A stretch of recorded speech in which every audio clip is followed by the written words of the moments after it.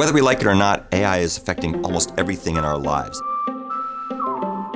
The economy, it's affecting society, it's affecting entertainment, it's affecting education. AI has become a tidal wave that threatens to engulf us.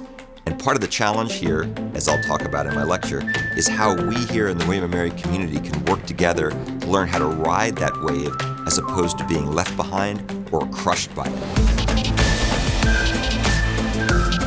Talk about a human-centered approach to AI, it's not just about the technology. It's about how we use these technologies in our daily lives. How do we use it in the educational context?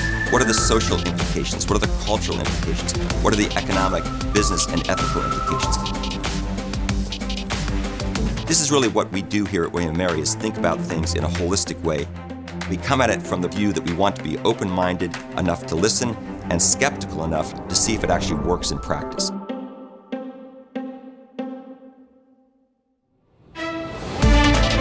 So hopefully it'll be very entertaining and you'll not just learn something about the technology, but more importantly, you'll learn how we can use these tools to be a more effective university going forward.